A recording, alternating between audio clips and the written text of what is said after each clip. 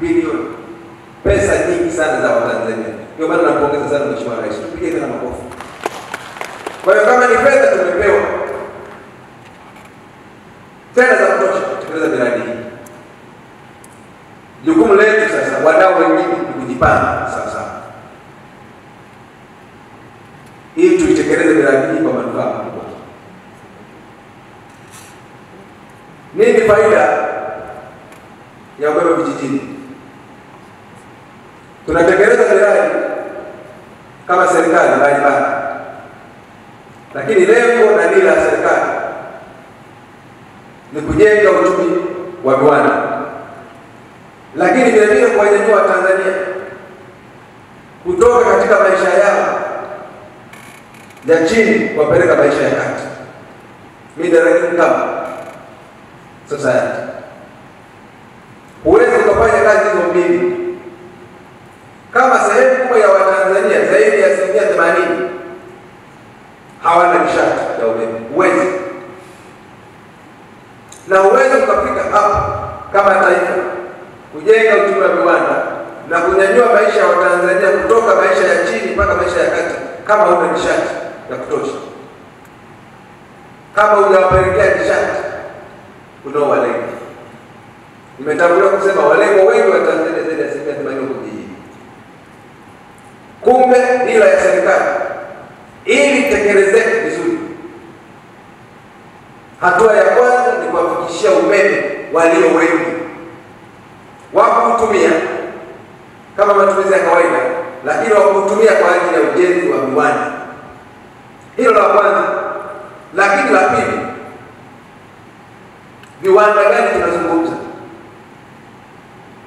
Tunazungumza viwanda vya kila aina, na kimadaraja viwanda vya aina tatu: viwanda vidogo, vya kati na vikubwa. Ajenda inajitokeza, viwanda vinajengwa wapi? Viwanda vinahitaji nini? Mahitaji makubwa ya viwanda ni raw materials, ni malighafi. Kiwanda aina yoyote ile inahitaji malighafi. Malighafi kubwa ya viwanda vingi inapatikana kijijini, nimejieleza vizuri. Malighafi aina yoyote ya kiwanda inapatikana kijijini. Ukitaka kujenga jine ya pamba, pamba hailimi mjini. Ukitaka mashine ya kukoboa na kusaga mpunga na mahindi hayalimi mjini. Ukitaka leba ya kufanya kazi viwandani haimo mjini, iko vijijini. Kumbe mwelekeo wa kwanza ni kufikisha umeme huko kunakotakiwa kujengwa viwanda lakini la msingi, huwezi kujenga kiwanda mjini. Hakuna eneo la kujenga kiwanda mjini, maeneo yako vijijini.